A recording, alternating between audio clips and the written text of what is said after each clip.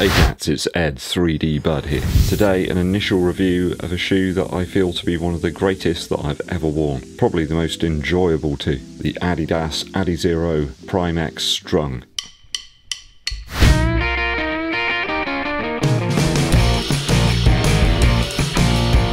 Thanks for tuning in people, it's always appreciated. Help the channel to continue to grow by hitting that subscribe button and hit that bell below for notifications when I launch the new videos for you. Also give this video a thumbs up like and share it with your running buddies. If you've got a particular question that you want to get straight to the mind of Ed Bud, hit me up with a super thanks down below. It really does help the channel out. A special version of the Adidas Adizero Prime X here this has a new upper, which is made using the Futurecraft strung process. Now, I gave the original version of the Prime X a 95% score. I think it was 11.5 out of 12. That was one of the greatest shoes that I've ever worn. It was just fantastic. It made running extremely enjoyable, exhilarating, and let's face it, running isn't just always about running at your top speed.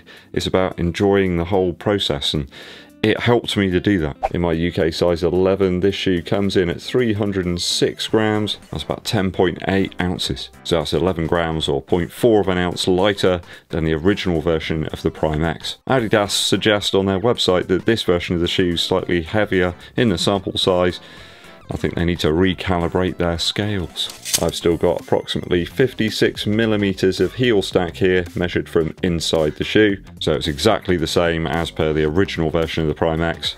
I don't think there's anything different here in the midsole. There's some other information suggested that there was a three-piece midsole setup. I think the midsole and outsole of this shoe are exactly as per the original Prime X. Sadly though, we do have a small increase in the Prime X this year. They've put it up by about £10 here in the UK, so up to 230 Earth credits, which is it's a heavy price to pay for such a great shoe. I managed to pick this one up at a discount at 195, so it was a little bit easier to swallow. We'll start the review off with the upper first. Straight off the bat, I've got to say the upper is a big improvement over the Prime X. It is quite incredible in hand. The texture is different to what you probably think it was going to be. The strung upper is really quite something. It uses a more densely packed load of material here in the heel to provide a bit more structure and it's very very flexible up here in the toe box. It really is the real deal. I think they're onto something here. I would imagine we'll see this sort of process used in more and more Adidas shoes over the next few years. The upper does a brilliant job of locking your foot on top of that mountainous midsole. There's a look almost like a load of fiberglass, I suppose, or like a spider's web across the toe box and the medial and lateral sidewalls of the shoe. It really does vary quite a lot throughout the whole of the upper. It's a little bit more supple here and flexible in the toe box and it helps to keep it away from your toes. Just a bit stiffer and firmer around the heel area. No conventional heel counter here as you can see. It's a bit like a cocoon I suppose but it is very very comfortable on foot. Lacing uses these rows of loops and there's something to note here that the initial lacing starts a lot further away from the toe box. Just feels like it's a bit more flexible around that area. I have to say it's an incredibly containing and consistent lacing solution and a big upgrade over the original. I love this shoe and found the lacing to be absolutely fine, but to get a lighter and better, more consistent lockdown over the top of the foot, that's a big upgrade. Now they have weight relieve the tongue.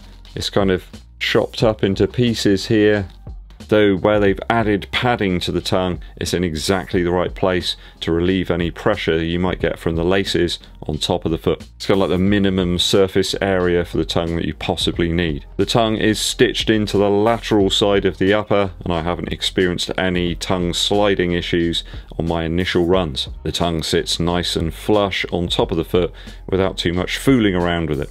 Laces uh, of appropriate width and length, and I found no issues tying the shoe up with a runner's knot. It's kind of like my preferred option, really. You don't want loads of surplus laces banging around on top of your foot anyway. It can get very irritating. It is cool to see the original proof of concept strung upper now on a retail shoe, and it really is fantastic. It does exactly what it intends and offers a fantastic heel grip and lockdown. Flexible toe box and a lighter weight. Zero issues for me here in terms of upper. It's pretty much perfection. They've just improved the Prime X even more here. A 3 out of 3 for upper after my initial runs.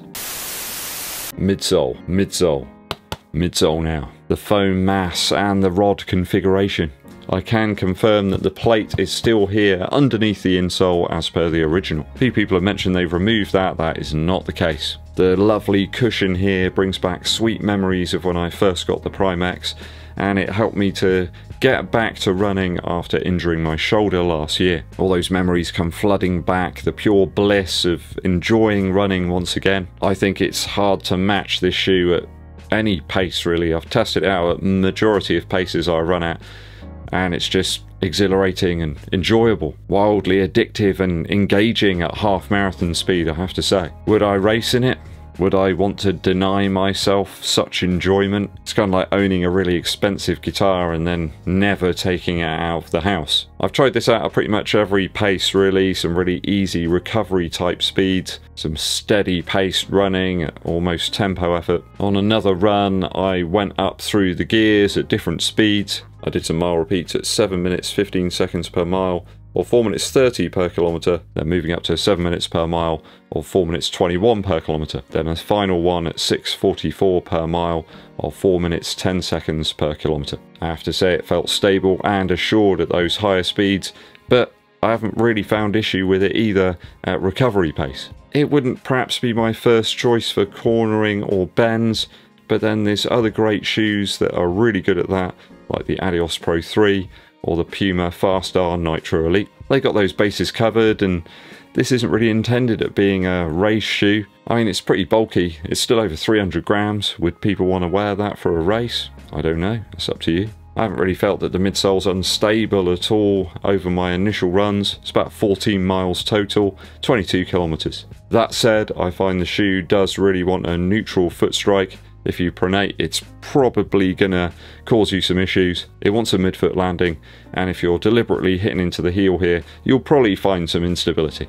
But what do you expect with 56 millimeters of stack height here? The plate under the heel goes some way to stabilising the ride, but I certainly think it's a shoe that wants to get you up on the mid to forefoot. I think the new strung upper here is amplifying the midsole because it's giving you a better connection on top of it, thus improving the perceived stability of the midsole and also boosting cornering and curves. I'm finding the blade and rod sandwich in the mid to forefoot to be dynamic. It's far less aggressive tech than what we find in the Alphafly from Nike. Though you do have quite a considerable rocker here in the mid to forefoot.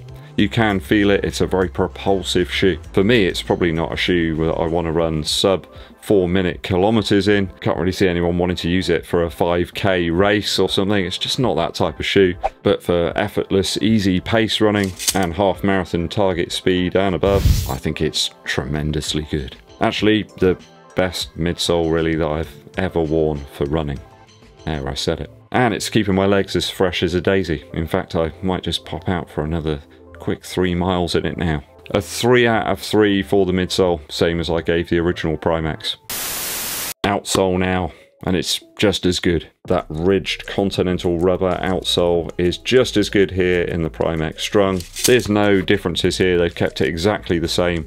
And why would you make changes to something that is absolutely perfect? This one's equipped for road, pavements or concrete. I mean, you could use it on some light trails, I don't see why not. Maybe a bit of light gravel, I mean light gravel here, not stones or anything that resembles a mountain. That just isn't the shoe you're looking for. Here's the original Primex. After 100 miles, basically no wear whatsoever, and that's fully what I expect from the Primex Strung.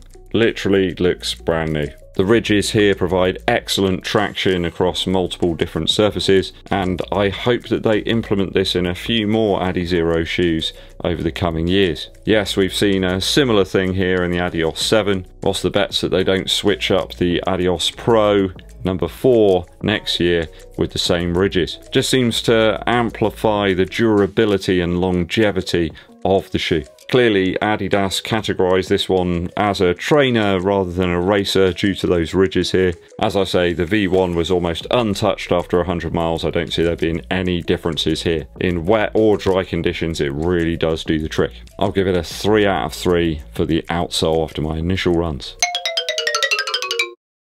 Value now. So the only fly in the ointment here really is that price hike. It's now £230 at retail, which is eye-watering stuff. Is the new strung upper uh, worth the extra cash? Well, is it worth any of the cash?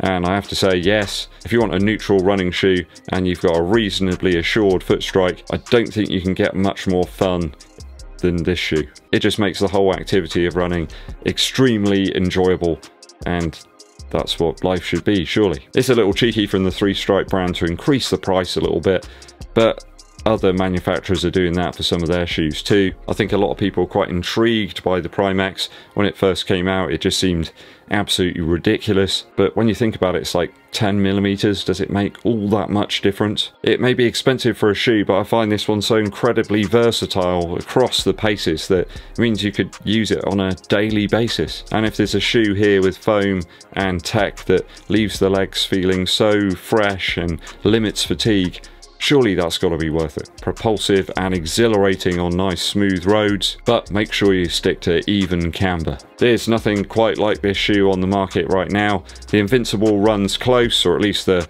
version that I crafted myself with the saw. It certainly is an expensive shoe, one viewer did mention that it's kind of the Las Vegas of running shoes right now. The price is the only area where I can lower the value score. I'm going to give it a 2.7 out of 3 for value after my initial runs. Totaling the scores up, that gives us 11.7 out of 12 after my initial runs for the Adidas Adizero Primex Strung.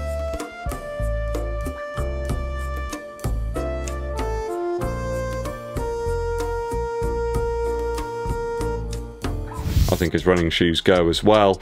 This is one of the most incredible looking ones I've ever tried out. Comfort wise, unmatched, and it just feels wonderful to run in. Surely Nike and the rest of the gang are going to follow suit with a shoe that has over 40 millimeters of heel stack. Whether they'll be able to match this Adidas monster, I do not know. I believe that is the highest score I've ever given to a running shoe, and that's probably right because it is one of the best running shoes I've ever run in. It's the best running shoe I've ever run in. There we go. What do you make of the Primex Strung? Let me know your thoughts and opinions down in the comments. Musical interlude time. A running shoe of this quality calls for an equally good musical interlude. Today it's from Richard Hawley and his fantastic album Coles Corner. I can't believe this was released back in 2005. It seems only yesterday that I was travelling along on my bike listening to one of the tracks on my MP3 player. I think I first heard the track The Ocean from this album and I was amazed at the almost Rat Pack style vibes. It felt like a song that could have been released in the 1960s. Born Under a Bad Sign as well has this subtlety that is missing from music these days. The sentiment and the way that the song's delivered just makes you really believe the singer. There's emotion there that hasn't been sucked out by the use of some computer technology. If anybody's ever suffered from like sleeping problems, the song Tonight will help you go to sleep but in a good way. I don't mean it's boring by any stretch. It has this weird twilight quality about it to the guitars, and the tones of Richard Hawley's voice are so warm and inviting. It's kind of like an inviting fire in a warm inn when the rain is hammering down outside. The opening track, Coles Corner, as well, features some beautiful string arrangements. It really is a fantastic album. Go and check this one out, guys. Richard Hawley's Coles Corner. He cuts a pretty sort of lonely looking figure on the front cover as well, with his bunch of flowers waiting for his sweetheart to appear. Thanks for tuning in, people. I hope you've enjoyed today's episode. Help the channel to continue to grow by hitting that subscribe button and clicking the bell below for notifications. Give this video a thumbs up like, but also share it with your running buddies. My name's Ed Bud, and I'll be seeing you